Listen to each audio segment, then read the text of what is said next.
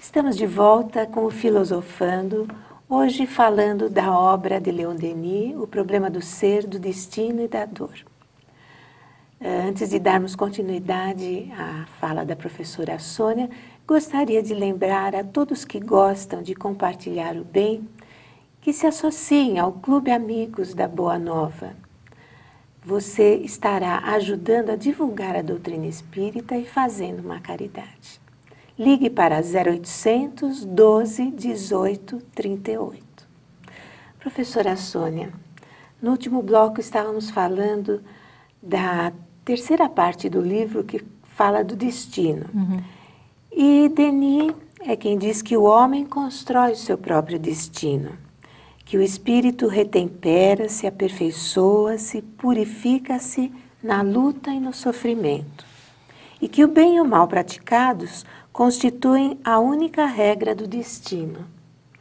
Poderíamos dizer então que é por isso que não existe fatalidade quando falamos isso. em destino? É, porque quando ele se refere a, a destino, pode, uh, isso pode levar as pessoas a acreditarem que Leon Denis uh, uh, tinha como meta ensinar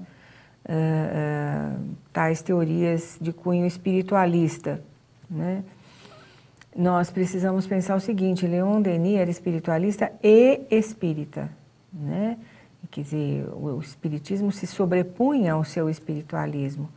Para que nós possamos entender a diferença entre um e outro, o espiritualismo abrange, por exemplo, as religiões. As religiões são espiritualistas. Toda aquela teoria ou doutrina ou seita que admite vida após a morte, a existência de, de Deus, e a vida após a morte, onde quer que ela possa se dar, ou de que maneira que ela possa se dar ou vir a, a ocorrer, é espiritualismo. Né? Autoajuda, por exemplo, é espiritualismo, mas não é espiritismo. Né? E assim como outras teorias, crianças índigo, essas coisas que surgem e que não contribuem em nada para o engrandecimento e o crescimento das pessoas, porque são teorias de cunho pessoal, são são tiradas das ideias de pessoas, não tem embasamento de conhecimento nenhum. Essa de crianças índigo, então, não tem embasamento de conhecimento nenhum, né? não tem fonte de pesquisa que ateste a veracidade disso. Então, há necessidade de nós buscarmos conhecimento e não pontos de vista. É, essa questão de fatalidade que o livro dos Espíritos explica tão bem, Márcia e que diz para nós que, muito embora nós estejamos aqui em função de lei de causa e de efeito, mas nós somos livres para causar.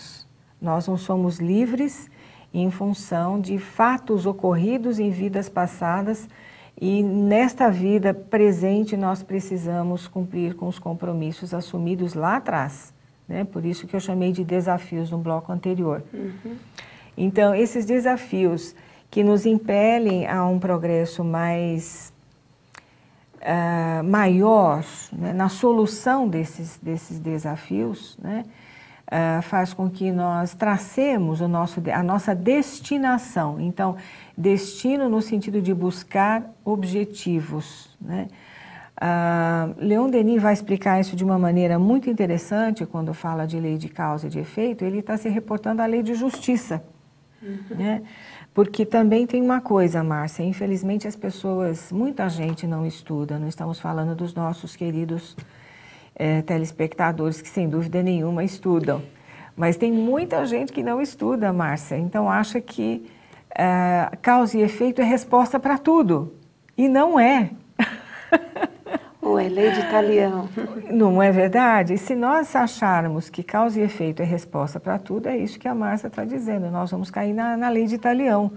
Então, tudo aquilo que eu, que eu sofro na Terra é, é, é, consequência de um, de um ato que eu pratiquei no passado? Isso não existe. Nós estamos num contexto de provas e expiações.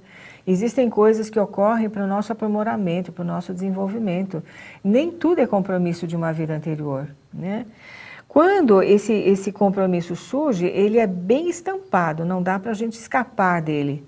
Né? Porque onde quer que nós possamos estar, ele nos persegue. Uhum. Então, esse é um compromisso de vidas anteriores, de vidas passadas, que precisa de solução. Então, é isso que Leon Denis vai dizer para nós, que a nossa felicidade está justamente no cumprimento dessa lei de justiça, com base no amor e no exercício da caridade, que são as leis muito bem desenvolvidas pela pelo, pelo Livro dos Espíritos. Né?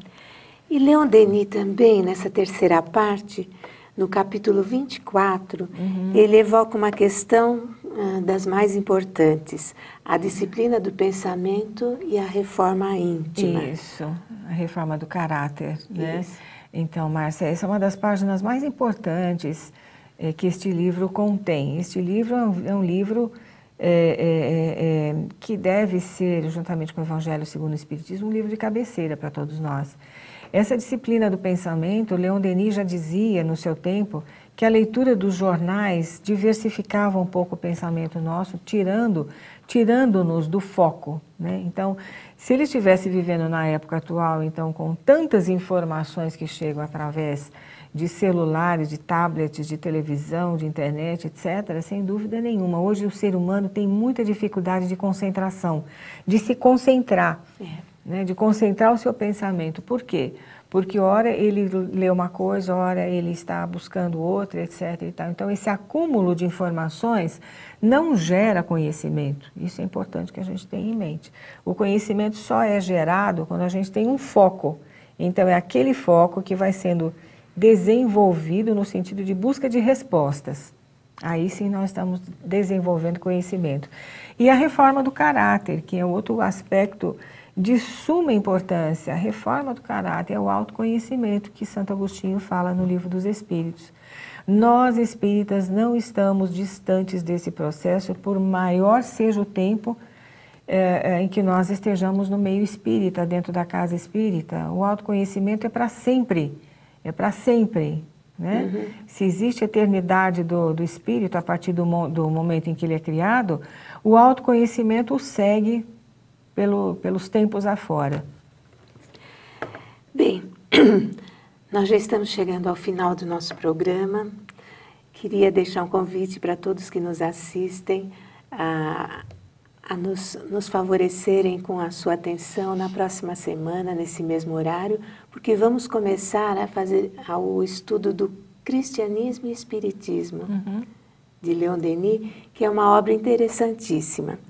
Uh, se você desejar deixar alguma opinião, dúvida, comentário, acesse o nosso facebook.com barra E até o próximo programa.